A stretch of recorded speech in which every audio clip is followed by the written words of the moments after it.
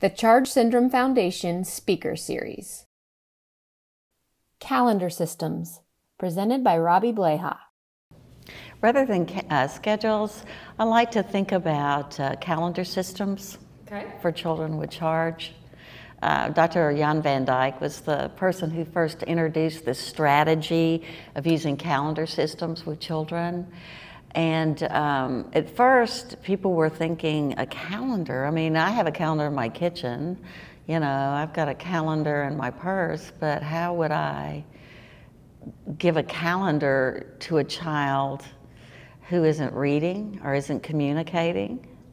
So, how would you use a calendar with a kid like that? And so, one of the things I really respected about Dr. Van Dijk is he developed a way to um, design timepieces for children who couldn't use a traditional format.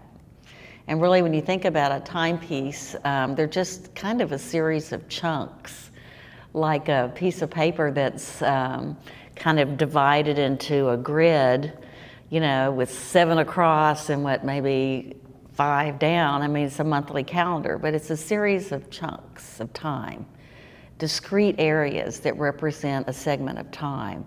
And he took that and he developed timepieces for children um, that were more uh, concrete, like a box, a you know, a long box. Some of the things that timepieces have in common are that they are tangible, they have tangible sections they uh, represent that, that individual child's time concepts and time needs. Because some of, for some children, their future is the next activity. And that's as far into to the future as their thinking.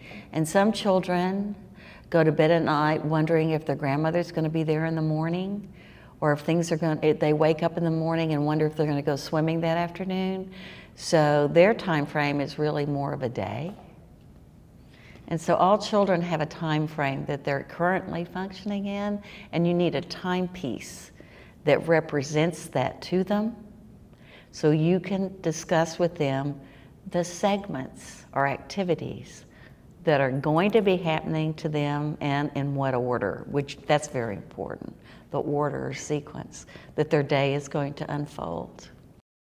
What should you think about while developing an individualized timepiece? One of the most important aspects of developing a calendar is deciding on your timepiece. And they need to be very individual. The last thing you want to do is walk in a classroom and have four very different kids with deaf blindness and four identical calendars because there's no way that all of those kids have the same time frame necessarily or that all of the kids like red the best because some of those kids are purple kids and some like yellow. And some kids like patterns and some kids don't like to touch plain wood. They want something soft. So they want something lined. So they don't encounter any rough edges. So it's physically attractive to the kids or in terms of their sensory system the timepiece is attractive and manageable and so they're very individual. So um, an individualized timepiece is a very important um, step on developing a calendar system. What else is important when developing a calendar system? Another important piece of developing a calendar system beyond the timepiece is having a communication system already set up with the child that's meaningful for that kid. Some of the children use objects to represent the next activity, like if they're going to be cooking and they absolutely love metal spoons because they bang so well, or they're always cold when you pick them up because they're metal. You have a metal spoon to represent cooking. Um, you have objects that, from that child's perspective, represent things. So we have object kids. So the calendar will use objects. Some of our kids use parts of objects because they can be a little more abstract. Some kids use pictures, photographs, different things. So you have a tangible uh, system of communicating. Um, even if braille pieces of paper, every calendar system will incorporate that child's communication. It's really important to have that communication system in place before you even thinking about designing a calendar system because um, you really need um, a way to trade information with the child. So that's a priority. Once that's done, then you can start thinking about ways to use it, and the calendar system is a great way to use it. Why is a calendar system important for someone with charge? The reason I, I, think about calendar systems, maybe even more than schedules, is that calendar systems are really critical for human beings. I think it's really interesting, and you can go to any point in time or any culture, and they had a way to represent time and talk about time.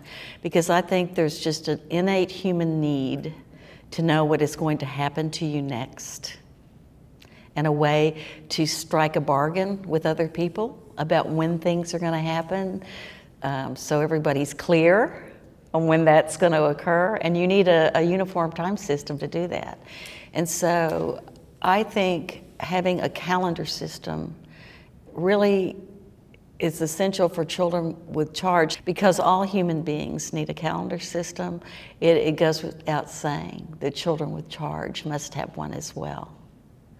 I think that um, one of the reasons human beings use uh, calendar systems is to be able to have the security of knowing what's going to happen in their future. I think not only is it important for a sense of security and control, but I think it's very tied into hope and happiness, and I think it's very much a mental health issue of having some security and control over your future. And having a calendar lets you know what's coming up and when.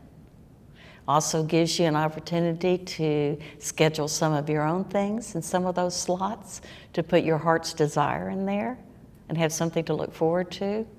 Um, it helps you kind of get through stuff you don't want to do because you know, okay, I really don't want to go to gym today. But after gym, I get to have popcorn. I get to have popcorn, or I get to um, play with a friend. So it's a way to kind of negotiate your way through the day, and everybody needs that, or we would get nothing done. What is it about children with charge that makes a calendar system particularly helpful? Uh, while all human beings uh, need timepieces and need a way to um, anticipate and organize the future, um, I think it's essential for children with charge syndrome to have this. Um, because they have trouble accessing information from the environment, sometimes they miss cues um, that other people pick up that, that things are going to happen. And this is a way of kind of making a, a contract with the child about what their day is going to be like and to honor it. And I think that if they have a calendar that they can go check and verify, that it does it's going to do a lot to reduce anxiety. How does wait mean yes? Another way I think um, calendars are really helpful for children with charge syndrome. I think a real emotional experience is involved with the um, effort of waiting. I think waiting is hard for everybody. I think that's why on telephones, they play music for us because we can't wait. You know, it kind of keeps us on the phone and pacifies us. And on our computers, a little line goes across the bottom to let it know that, yeah, it's about to start. And I think, I think that shows how much neurologically we need help waiting. And it's certainly going to be true for children with charge syndrome. I think waiting is a skill that has to be taught. And I think one thing that calendars help do is it teach them that the word wait means yes. If they are concerned about when are they going to go swing, I think if it's scheduled in their calendar, you can take them over to the calendar and say, You're talking about swinging. Yes. You verify you're understood and the fact that you take the time to talk to them about it, they need that time to process the information and de escalate. And I think just saying, we're going to talk about this so that you feel wonderful. And to go to the calendar and say, yes, you are swinging and it waits. To give something positive to that term, because these kids are told all the time, you need to wait, you need to wait. And it may sound like no. And waiting, we can't wait. As, you know, adults, mature adults, we can't wait without computer lights and music on the phone. And they need to help wait. And if you val- validate, I understand, yes, it's going to happen. And with the calendar, that's, that's a promise. It's extremely reassuring. And you can even show them, you're right here on your calendar, and we're going to do this and this, and then you swing. Yes. You can show them how long they're waiting. And it also, as a teacher or a parent, it gives you a sense of this how much can they wait? It's a neurological and an emotional thing, and you have to build it like a muscle, learning to wait. And I've met kids that they can wait till the next activity, but they can't wait five. They cannot do it. So I will move it and say, You're doing it next. And in the current activity, I will do it faster than it's ever been done before and assure them every step of the way and we're almost done and we're waiting for the swing and you put that there thank you because we're waiting for the swing i will get them through it emotionally and get them to the point they can do it so that word helps and i have seen it countless times that when they get it you say wait they it, it starts the de-escalation and calming and I think the calendar is a tangible way to convey a very abstract concept. And I think it does quite a bit for anxiety and for hope. How does a calendar system help the child understand both predictability and change? I think one of the um, definite benefits of uh, calendar is that it does provide a sense of predictability in, in their future and their current environment. Um, if everything is scheduled and stays the same, they feel safe. And if something can't stay the same, because stuff never stays the same day in and day, day out, week in and week out at school or home, it helps them deal with change. Because you, you can show them out of the four activities we have scheduled, all of these are the same except this one. And this one, we're going to change. We need to make a change.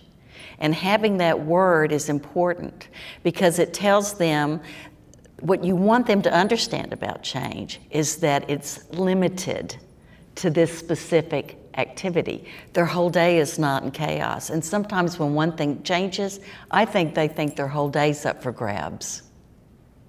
So, using a calendar to teach that one thing has changed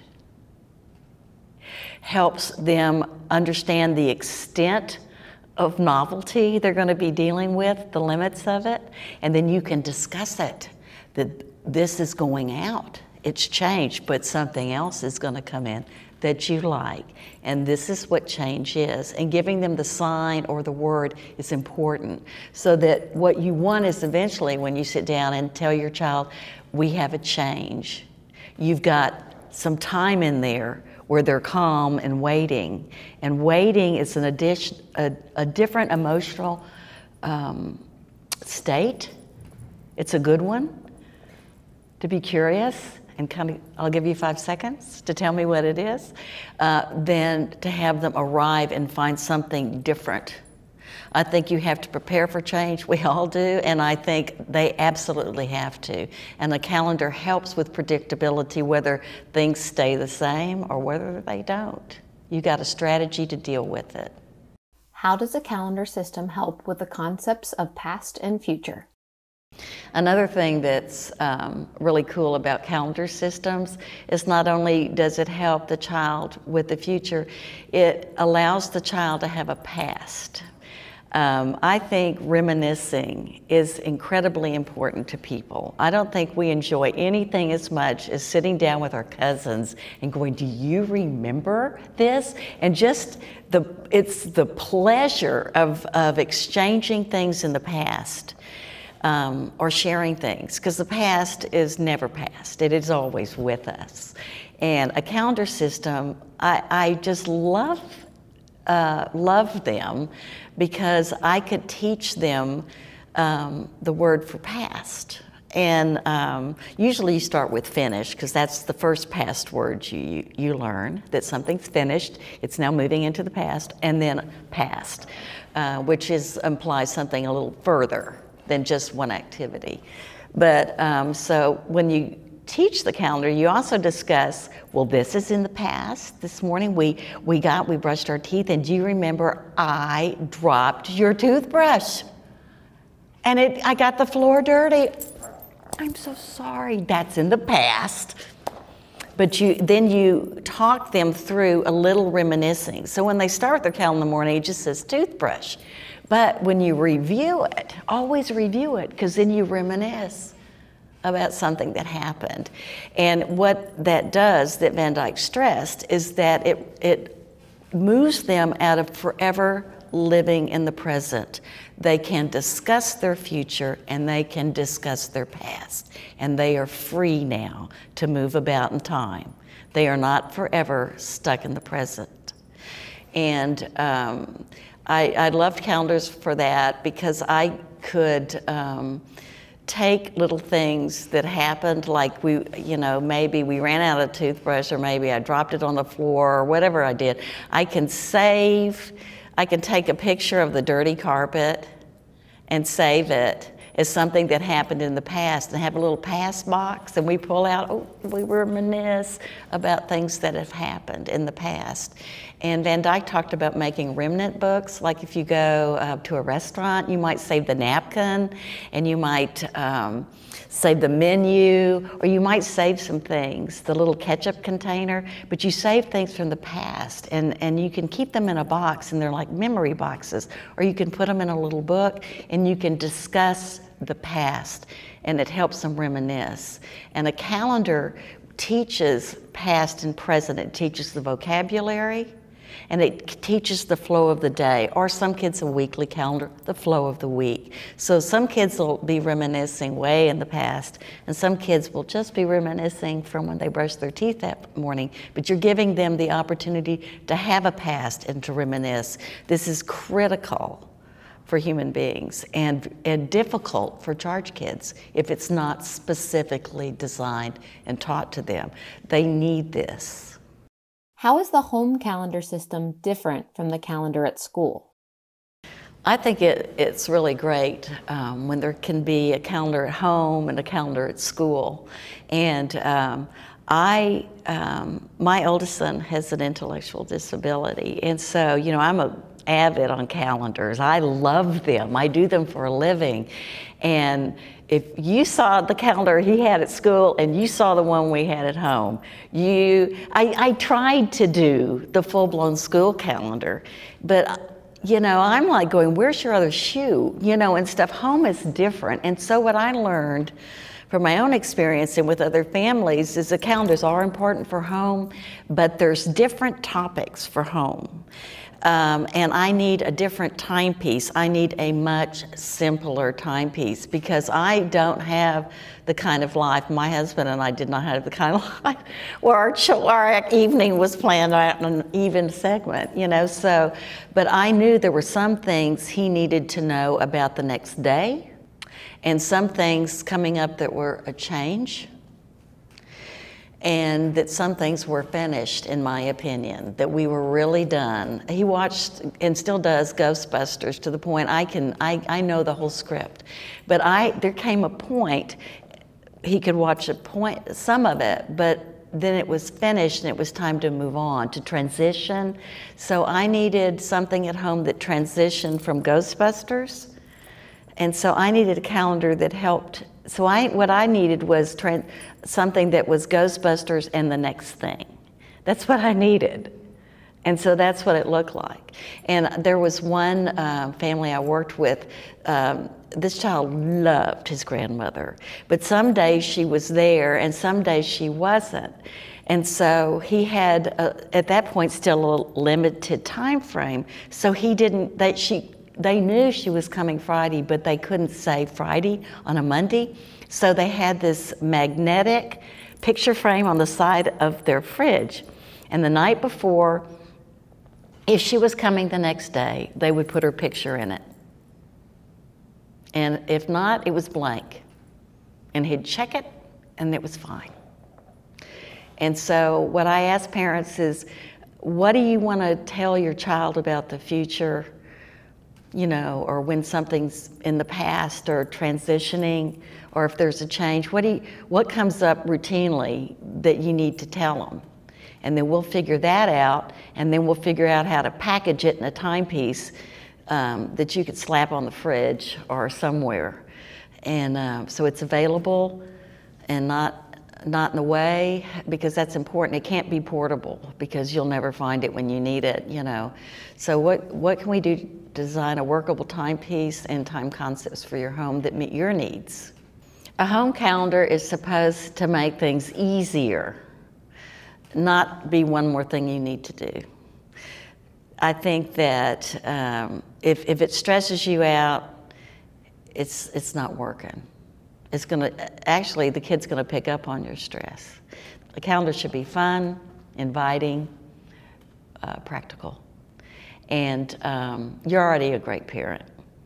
So you don't need to have a calendar that looks like the one at school you need the, cal- the calendar um, that you decide works best for your home.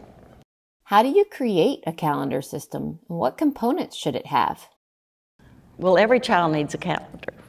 And so, uh, one of the things that happen with programming is you decide um, how to make that happen. Uh, the first thing you do, of course, is get the communication system set up for the child because every child needs a communication system, or what are you going to put in the calendar to represent his day? Um, another thing is you have to have some really cool activities in your day, stuff that's built on the kid's interests, um, something that makes him want to uh, move into the future. Um, you need things that are not only interesting for the child, but clearly designed in a routine so they can tell when it begins and ends. The other thing um, that you need with a calendar is uh, a timepiece. And so you design a timepiece that's attractive and coherent to the child, that has a clear beginning and end, clear sections, and is attractive to the child and reflects his time frame. You also must have a way to show past and future with your calendar system. So some calendar systems have maybe four slots for four activities, but they have um, a finish basket so that you can take each object out and put it in the finish basket. That's showing which ones are in the past. Some have flaps that may go over it. Um, it's individual on what you think is going to be clearest from that child's perspective, and um, but you must have for every calendar a way to show future and past. On some calendars, we put an X when it's finished, and anything without an X is waiting to happen. Um, you might, on a monthly calendar, have X's on what's done. You have a square on today, and the future's blank. You, it just needs to be uh, clear enough so if the child approaches the calendar, he knows what's done and what's coming up. Do you have any final thoughts for parents about calendar systems? One thing that um, always remember when you're designing calendars that that first one is not their forever calendar. That one of the things we want to do is um, guide them to the time frame so that a day calendar can become two days. That you can build to a week, and a week can build to the month. So the goal is always to move them further into the future and let their past extend further into the past. And the way you do that is de- designing time frames that have tangible chunks. Um, they just get more of them. So it is not unusual to see kids move from a day to a week to two weeks to a month and an annual calendar in the course of their education. But all calendars use their communication systems. All calendars have an understandable timepiece, and all calendars have a way to show past and present. All calendars have time vocabulary that talk about past and present and future. I mean, when you start, the first sign or the first word for future is wait. And then they learn later. And then they um, start learning afternoon in the morning, because that's another future um, way to talk about the future. You just keep introducing um, more con- um, the, the language. Um, more uh, sophisticated ways to, to, discuss the future and sophisticated ways to talk about the past. And I think you have to have faith in the kids. It's interesting to me how fast they learned the time vocabulary rather than nouns. Because I would think nouns and verbs would be easier, but Dr. Van Dijk commented one time that for children, and I think this is definitely true for charged children that their emotions are more concrete and tangible than objects around them in the world. And addressing things like wait and change and giving them words in a reassuring manner, um, they, they grasp these like kids who are drowning. I mean, I, I have always been amazed at the time vocabulary these kids pick up. And I, I credit Dr. Van Dijk with designing a system that is tangible and um, very on target for where they are developmentally, that's part of a continuum so that they can keep evolving and evolving and um, attaching it to their emotions. I, th- I think uh, I got to take my hat off to him. It's not the first time. Um, I think the calendar systems are a miraculous intervention for children with charge. For information and resources about Charge Syndrome or to make a donation, visit chargesyndrome.org and click the links in the description below.